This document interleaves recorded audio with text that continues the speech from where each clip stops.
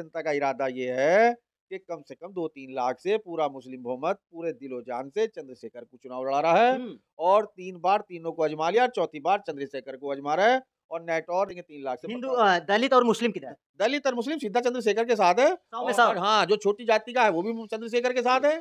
जितना भी नमस्कार मैं सुभाष कुमार। अभी मेरी मौजूदगी है बिजनौर ज़िले के नगीना हॉट सीट पर। अभी हम बातचीत करेंगे कि यहाँ से जो चुनाव लड़ रहे हैं चंद्रशेखर आज़ाद जी आज़ाद समाज पार्टी से आखिर कितनी मजबूती के साथ चुनाव लड़ रहे हैं? और क्या मुस्लिम समुदाय के लोग उनके साथ खड़े हैं या नहीं खड़े हैं? और एक तरफ़ अगर देखा जाए तो भारतीय जनता पार्टी से ओम कुमार जी हैं। अब इनसे बातचीत करेंगे आखिर मुस्लिम समुदाय के लोग किधर वोट दे रहे हैं किसे चाह रहे हैं बदलाव चाहते हैं या नहीं चाहते हैं और किस मुद्दे पर वोट देंगे? आइए बातचीत करते हैं। सबसे पहले स्वागत है आपका। क्या नाम हुआ? जी खुर्शीद अहमद। ये आपके नेटवर्क क्षेत्र का इस वक्त लोग किसे चाहते हैं? बढ़िया नेता कौन है और किस मुद्दे पर आप लोग वोट देंगे? देखो जी मुद्दा तो ये है कि यहाँ 2000 मतलब तीन चार चुनाव हो गए उसके लोकसभा के। तो कोई आदमी प्रत्याशी यहाँ बढ़िया खरा नहीं उतरा। पहले सबसे पहले यहाँ प्रत्याशी बना यशवीर धोबी सपा से। पहले चुनाव में उससे बोलना तक भी नहीं आता था और मेरे यहीं पे सबसे पहले उनकी मिनाइटौर में मीटिंग हुई थी। बहुत बड़ा प्रोग्राम आया तो यकीन करना बिल्कुल सच्चाई बता रहा उनसे लफ्ज़ भी नहीं अदा होता था पब्लिक के अंदर खड़े होने के बाद। और जब वो संसद पहुँचे तो उन्होंने धमाल मचा दिया। कोई मतलब पार्लियामेंट में मीटिंग वूटिंग वगैरह थी उन्होंने उस पर ऑब्जेक्शन बिठाया था। हम्म। तो कुल मिला के वो अब इस क्षेत्र के सांसद थे मगर वो भी इतना यहाँ खड़े नहीं उतर पाए जितना उतरना चाहिए था। अब जनता को अच्छा नहीं लगा। अब जब जनता को अच्छा नहीं लगा तो उन्होंने पाँच साल का इंतज़ार किया। अब जब पाँच साल का इंतज़ार किया तो वहाँ हम क्या बोले करे बीजेपी आ गई। बीजेपी का कैंडिडेट आ गया। समझे? बीजेपी बीजेपी बीजेपी को जिता दिया। अब बीजेपी बढ़िया नहीं लगी तो अब के मुलक नागर आ गए। वो गिरीश चंद जाटो तो सोचा कि दो दो आजमा लिए तीसरों को और आजमा ले तो तीसरे को आजमाया तो वो भी ज़ीरो बटे ज़ीरो निकले। इधर को आके ही नहीं देखा। तो अब आ गया चंद्रशेखर साहब का नंबर। जी। तो बस जनता के दिमाग में यही चीज़ है कि भाई तीन बार सबको अजमा लिया चौथी बार अब कैसे बेचारे गरीब को भी अजमा लो। गरीब घर से है। तो कुल मिला के ये है अब के जनता का इरादा ये है कि कम से कम दो तीन लाख से पूरा मुस्लिम बहुमत पूरे दिलो जान से चंद्रशेखर को चुनाव लड़ा रहा है हम्म, और तीन बार तीनों को अजमा लिया चौथी बार चंद्रशेखर को अजमा रहा है और नेटौर विधानसभा का वोट तो टोटल भैया चंद्रशेखर को मुस्लिम जारिया जी। नेटवर का पूरे का पूरा यानी कि सौ में से सौ चंद्रशेखर आज़ाद यानी रावण को जा रहा है। भीम आर्मी के चीफ हैं और यहाँ से लोकसभा नगीना से चुनाव लड़ रहे हैं। बात किया जाए अब वो चुनाव लड़ कहाँ रहे हैं? कितनी मजबूती है? अगर पैसे की बात किया जाए तो तमाम लोग मिलकर उनको कहीं ना कहीं आर्थिक मदद भी दे रहे हैं। उनके साथ खड़े भी हैं। यहाँ तक कि वो चंद्रशेखर ने ये भी कहा है कि ये मेरा चुनाव नहीं है। साहू जी ये भी बोले हैं कि ये मेरा चुनाव नहीं है। जनता का चुनाव है। अगर एक बार मुझे दिल्ली पार्लियामेंट तक आप लोग भेजते हैं तो आप लोगों की आवाज़ को उठाने यानी बुलंद करने का कार्य ये चंद्रशेखर रावण करेगा क्या आप लोगों को लग रहा है कि चंद्रशेखर कुछ ऐसा कर पाएँगे देखो एक बात बताऊँ मैं बहन मायावती जब चुनाव लड़ी थी। तो बिजनौर से उनकी सभा थी। अब जब बिजनौर से उनकी सभा थी तो उनके हाथ में साइकिल रहती थी ढोल वाला आगे रहता था। और वो ढोल बजाता जाता था और मतलब ये भी नहीं जानते थे कि मायावती है कौन अच्छा कहाँ की रहने वाली क्या है क्या नहीं उसने बढ़ चढ़ के मेहनत करी उसका फल उसे मिला वो मुख्यमंत्री बनी। अब मुख्यमंत्री से ये है उनकी चाबी बीजेपी के हाथ में पहुँच गई तो लोग बाग परेशान हो गए। एस और हरी मुसलमान जो है एक जगह मिलकर ही काम कर सकते हैं। अलग अलग तो वे भी बेकार हम भी बेकार। और दूसरी बात रही पहुँचाने की तो इंशाल्लाह उम्मीद है चंद्रशेखर आज़ाद जो है बहुत अच्छे व्यक्ति है। जैसे है तो मालदार है नहीं। भाई एक बात बताओ जो गरीब आदमी होता है गरीब आदमी की जो आवाज़ होती है वो बहुत दूर तक पहुँचती है। जी। और जो नहीं गरीब आदमी की आवाज़ दब जाती है और जो ऊँचे लेवल का आदमी हो उसकी आवाज़ ऊपर तक पहुँच जाती है। तो भैया इसके साथ तो गरीब जनता जुड़ी हुई है और। जुड़ गई है तन मन धन से जुड़ गई है और लिहाजा यो बिल्कुल उगता हुआ चेहरा है और इंशाल्लाह मुसलमान जो है इसे पहुँचा के ही दम लेंगे। प्रताप जी ये बताइए मुस्लिम समुदाय जिस तरीके से आप दावा कर रहे हैं कि इस बार किसी की दाल नहीं गलने वाली है नगीना में सिर्फ़ चंद्रशेखर रावण। तो क्या लग रहा है कि चंद्रशेखर रावण यहाँ से जब जीतते हैं तो मुस्लिम समुदाय के लिए कुछ अच्छा कर पाएँगे या नहीं? देखो एक बात बताऊँ मैं अगर चंद्रशेखर रावण अच्छा नहीं करने के तो तीन बार तीन बार तीन को नहीं आजमा लिया चौथे को इसे भी आजमा लेंगे। और उम्मीद ये है अगर ये गलत निकले तो इन्हें भी उखाड़ फेंक देंगे। अगर इन्होंने सही काम किया तो इन्हें आगे को इसका वो मिलेगा। हम्म, और मैं ये समझता हूँ कि काम सही करेंगे। हम्म, और बढ़िया काम करेंगे। गरीब परिवार से बच्चा है जैसे कि मैंने सुना इसकी बीवी के पास सौ ग्राम जेवर है तीन लाख रुपए इसके अकाउंट में है एक लाख रुपए इसके अकाउंट में है घर देखा एक भैंस का बच्चा बन रिया। तो कुल मिला के ये है गरीब की आवाज़ को गरीब ही सुन सके। अगर इसने सुनी तो ठीक ना सुनी तो भैया जो भी चले जाएगा किसी पाँचवें की तलाश करेंगे। जी। तो अगर ये खरा उतरा तो ये मुख्यमंत्री बनेगा और गलत उतरा तो जनता इसे फिर निकाल देगी जैसे तीनों को निकाल लिया नकार दिया। जी। ताऊ जी ये बताइए चंद्रशेखर रावण एक उभरता हुआ चेहरा कहते हैं कि आज पूरी हर जगह उनका नाम है। चर्चा है लोग जानते हैं कि चंद्रशेखर रावण की अगर बात आती है तो लोग उनको जानते हैं। पर हम एक चीज़ ये नहीं आज तक जान पाए कि उनको रावण क्यों कहते हैं? देखो एक बात बताइए रावण का मसला यह है वो दिलहर आदमी है हिम्मतदार है।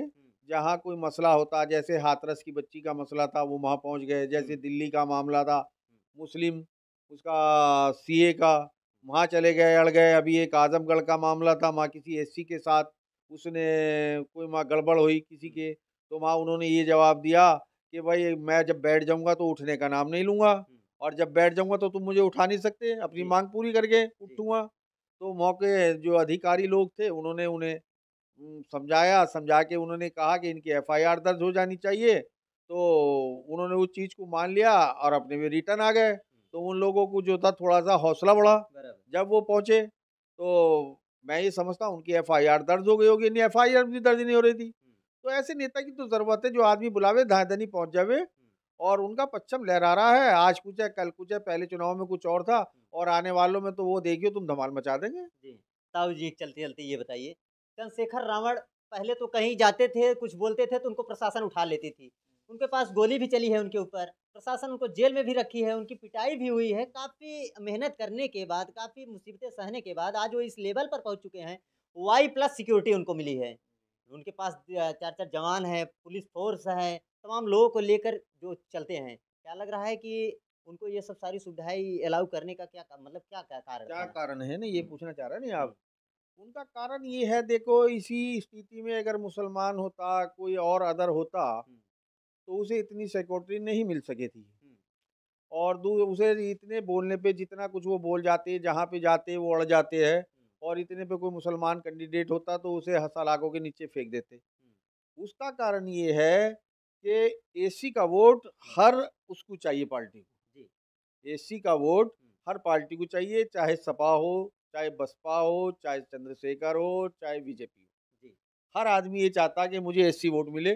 और पता नहीं एससी के अंदर कितनी बड़ी ताकत है दिखाई दी है कि हर पार्टी उससे डरती अब डर ये लगा मुझे कि अगर हमने इसे अंदर डाल दिया है इसकी आवाज़ को दबाने की कोशिश करी तो एसी एक हो जाएगा। और जब एक हो जाएगा वो जिसे चाहे जिता दे चाहे जिसे हरा दे। अगर हमने ऐसी हरकत कोई कदम उठा दिया तो पूरा ऐसी सड़कों पे आ जाएगा हमें जो जान बचानी भारी हो जाएगी जवाब भी नहीं दिया जाने का। तो इस वजह से चंद्रशेखर को आप उंगली भी नहीं लगा सकता जी। ताऊ जी एक सवाल। सपा और बसपा इनका क्या होगा फिर? देखो जी सपा और बसपा का मामला तो ये है बसपा तो बिल्कुल ख़त्म हो चुकी और वो ये ढूंढ रही है कि कम से कम ये सपा हार जा जितनी भी सीटें हैं। अगर मैं मुसलमान इसके सामने खड़ा कर दूँगी तो कुछ मुसलमान मुसलमान पे कर जा मुसलमान इतना बड़ा बेवकूफ़ नहीं है। मुसलमान बहुत सोच समझ के फैसला लेगा। अगर बसपा निकलेगी बसपा का निकलता हुआ उसे कैंडिडेट दिखाई देगा कि हाँ इसकी वो बन नहीं है रेपुटेशन तो मुसलमान उसी पे धकेला लगा देगा वो सीट निकाल देगा। निकाल देंगे। निकाल देगा। और उसे ये दिख रिया कि यहाँ सपा जीत रही तो पूरी जान अपनी सपा पे ईमानदारी के साथ अड़ा देगा। मगर वो ऐसा नहीं करने का बहुत सूझबूझ के अब के चुनाव है। कि आधा सपा पे चला गया और आधा बसपा पे चला गया। ऐसा किसी कीमत पे नहीं होने का। अगर सपा निकलेगी तो सपा को निकालेंगे बसपा निकलेगी तो बसपा को निकालेंगे। फुल ज़ोर कोशिश करेंगे और बहुत सोच समझ के वोट करेंगे। आगे इसका रिज़ल्ट कुछ भी तमाम सरकारें आती हैं, सांसद, विधायक, मंत्री लोग बनकर आते हैं और चले भी जाते हैं। पाँच साल का दौर खत्म भी हो जाता है। तमाम वादे करते हैं कि इस बार हम ये करके जाएँगे, हमारे लिए आप वोट दीजिए, आपके लिए हम ये कर देंगे। जीतने के बाद कोई प्रत्याशी दिखता नहीं, यहाँ तक कि अगर किसी से बात करना हो तो साहब करना पड़ता है। लग रहा है कि चंद्रशेखर भाई को, इनको भाई कहना पड़ेगा या साहब करके बुलाना पड़ेगा? देखो जी, हम तो अगर हमारे यहाँ हम तो भाई कहेंगे, साहब नहीं कहने के और देखो जो गरीब आदमी होता वही गरीब की बात को सुनता और जो बड़ा होता तो उसे तो साहब ही कह के बुलाना पड़ता। रहा मसला चुनाव का तो देखो गरीब आदमी ही गरीब की आवाज़ उठा सकता है। मैं अपने जैसा समझता हाँ। अभी का मसला ये है आपको जैसे वो है आप पार्टी के। तो केजरीवाल। केजरीवाल वो जेल में है उनकी बीवी की स्पीच सुन रहा था मैं। उन्होंने छः ऑप्शन रखे तो डिमांड तो देखो जी, अगर आपके सामने कोई भी छः रखेगा तो एक आधी पूरी कर देगा। अब यही देख लो आप एमएसपी का मसला, खाद का, पाँच सौ रुपया कट्टा आपको बताऊँ, सात सौ रुपया कट्टा दो हज़ार का हो गया, उसमें पैंतालीस किलो से चालीस किलो कर दिया, किसान परेशान है। समझे, आप कह रहे कि आय दुगनी करेंगे, फलाना करेंगे, कुछ करेंगे, सारा किसान सड़कों पे है, परेशान है। अब जयंत के देख लो, जयंत जाटों के साथ था, वो कह रहा था कि मैं चमन्नी थोड़ी जो बदल जाऊँगा आज यूँ कह रहा है कि चमन्नी बन गया। आज वही जयंत है अब ये समझ लो पूरा किसान परेशान है। सड़क पंजाब में हरियाणा में यूपी में अब यूपी का तो किसान थोड़ा सा दबा कुचला यूँ है कि भैया इधर चुनाव है। उधर का किसान की जो आवाज़ है एक है। अब गन्ने का भाव है जो भी रेट बढ़ाया पहले मायावती ने बढ़ाया था। अब कोई बढ़ा दे दस रुपए कोई बढ़ा दे बीस रुपए। मगर मुझे तो ये समझ नहीं आता आधा किसान तो इसके जयंत के साथ है आधा सबके साथ है चलिए अब चलते चलते ये बताइए इस बार कौन इस बार तो देखो जी हम तो ये चाहे मुख्यमंत्री अखिलेश वो अल्लाह मेरी तो वो प्रधानमंत्री हम तो बहन को चाह रहे थे हाँ। बहन मायावती बन जा हाँ। मगर उसकी चाबी उनके हाथ में है और उम्मीद ये थी अगर वो थोड़ा सा चाबी खोल दे। नेता जो बनता जेल में जाने के बाद ही बनता अब वो ये चाह रहे मैं तो परेश के कपड़े पहनूं। और आराम से अपने घर बैठूं। वरना तो मेरी जाँच हो जाएगी अन्य तो प्रधानमंत्री होती सब लोगों के दिमाग में था बहन मायावती को प्रधानमंत्री बना दो समझे? मगर क्या करे? वो बोली नहीं और गठबंधन उनका हो भी रहा था तो चर्चा चलती रही काफ़ी।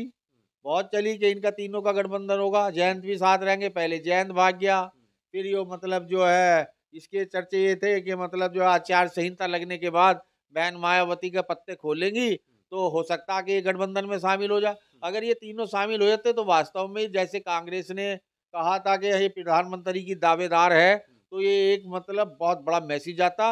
कि एससी में कोई प्रधानमंत्री बना। मगर वे गलती कर करके डर के मारे खौफ गए जेल जाना था चली जाती। अरे प्रधानमंत्री तो बन जाती अपना आप आ जाती बाहर। कितने दिनों को जा रही थी? दो चार महीने को और नेता बड़ी बन जाती। मगर उन्होंने तो अपनी सारी खत्म कर ली। खत्म कर ली। नगीना नगीना नटौर से इस बार सांसद कौन? इस टाइम चंद्रशेखर रावण बनेंगे। चंद्रशेखर रावण। हाँ बिल्कुल फाइनल फाइनल तीन लाख से। तीन लाख से। तीन लाख से जीतेंगे तीन लाख से हिंदू दलित और मुस्लिम किधर दलित और मुस्लिम सीधा चंद्रशेखर के साथ है। सौ में सौ। हाँ जो छोटी जाति का है वो भी चंद्रशेखर के साथ है। जितना भी मतलब बैकवर्ड है हम्म। और चाहे उसमें गडरिया हो और हो वाल्मीकि समाज हो मेरी वाल्मीकियों से बात हुई। हम्म। वे कह रहे हैं कि भाई अभी हमारे यहाँ चालीस परसेंट जो है चंद्रशेखर के साथ साठ बीजेपी में है। हम्म। तो कुल मिला के कोशिश करी जा रही कि हम भैया को जितावे। मैं बोला तो इससे तो बढ़िया बात ही नहीं अगर ये लोग बन गए तो भाई फिर तो बल्ले बल्ले है? चलिए फ़िलहाल अभी हम लोकसभा नगीना के हाट सीट पर हैं। हमारे साथ बातचीत करने के लिए क्या नाम बताया अभी हमारे साथ बातचीत करने के लिए हाजी खुर्शीद जी थे। इनसे बातचीत किए नगीना लोकसभा को लेकर। फ़िलहाल आपकी क्या राय है? कमेंट बॉक्स में प्यारा सा कमेंट ज़रूर करिएगा। हम आपको फिर मिलेंगे किसी और दूसरे वीडियो में। तब तक के लिए जय हिंद।